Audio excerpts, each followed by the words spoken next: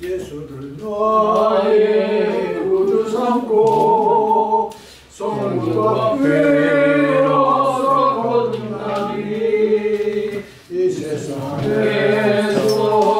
내 영혼이 하늘의 영광 누리노라 이것이 나의 간증이요. 이것이 나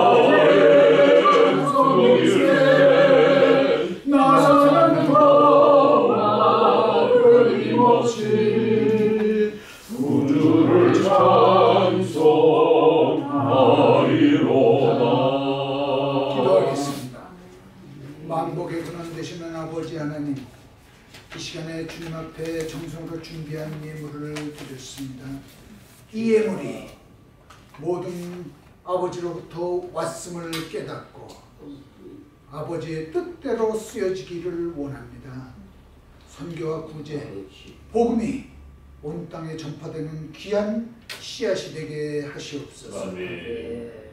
아버지 우리 플러튼 영락교회들 날마다 삶이 풍성하여지며 감사가 넘치게 축복하여 주시옵소서.